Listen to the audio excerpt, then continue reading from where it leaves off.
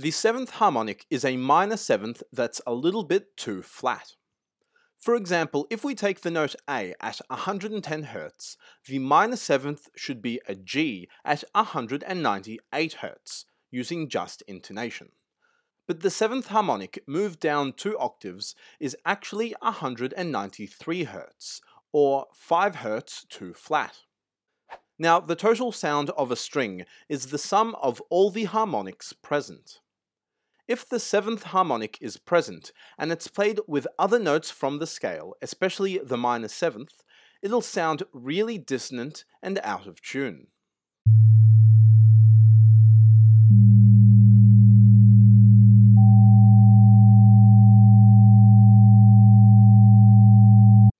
Now, for this reason, we tend to try to avoid the seventh harmonic. And as we learned in a previous video, the overtones you actually hear depend on where you pluck the string. This is why plucking a string at different locations on a guitar will give you different sounds. Now all overtones have nodes, that is, places where the string does not move at all.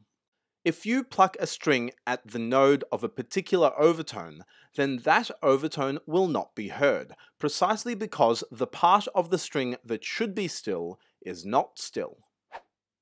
Plucking a string near one of its ends will create a lot of high overtones, which is why doing so will give you a very twangy sound. Whereas plucking the string near the middle will create lots of low overtones, which is why the string sounds bassy even though it's the same note.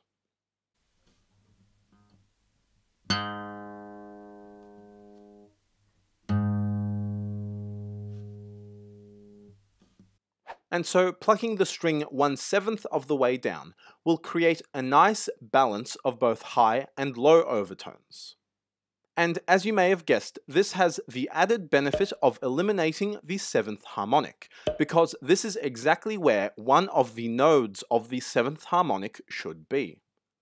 So plucking the string one seventh of the way down from the end means the seventh harmonic will not be present in the note, and you will remove that dissonant overtone. And that's why you'll find that the hammers in a piano are generally located near a node of the seventh harmonic. The next harmonic that doesn't work well and creates a bit of a dissonance is the 11th.